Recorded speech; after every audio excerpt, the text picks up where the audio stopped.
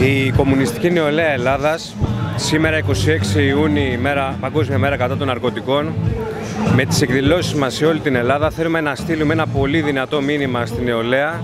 να γυρίσει την πλάτη της σε όλους όσους τη θέλουν με θολωμένο μυαλό, θολωμένη σκέψη και το κεφάλι σκυφτό.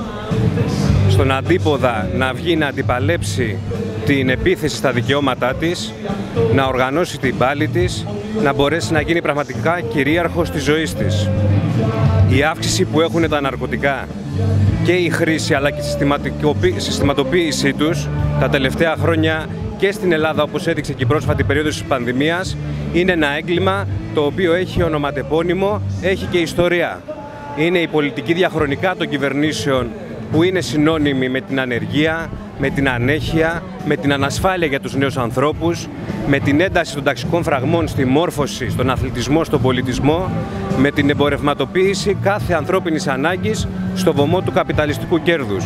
Όλα αυτά λοιπόν πρέπει να αντιπαλέψει η νεολαία, να αντιπαλέψει την πολιτική της Ευρωπαϊκής Ένωσης, την περιβόητη περί δίθεν μείωσης της βλάβης,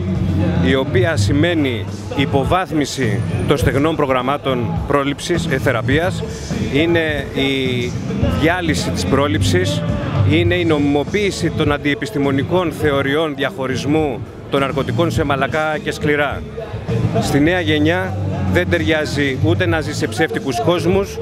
ούτε να ψάχνει τη φυγή από τη σημερινή ανάγκη να παλέψει, να παρετηθεί. Της ταιριάζει να πιστέψει στη δύναμή της, να αγωνιστεί για μια κοινωνία ανθρώπινη, ελεύθερη από όλα αυτά τα δεινά και τα προβλήματα που θα ικανοποιούνται οι σύγχρονες ανάγκες της.